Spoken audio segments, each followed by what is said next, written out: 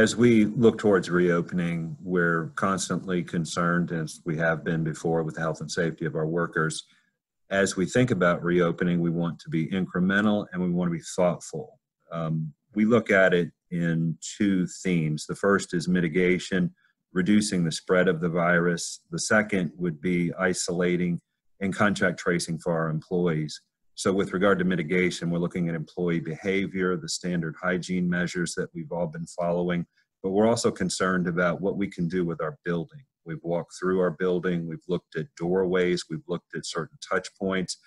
We've got uh, social placards coming that we can put on the floor, put on the wall, and just be a constant reminder.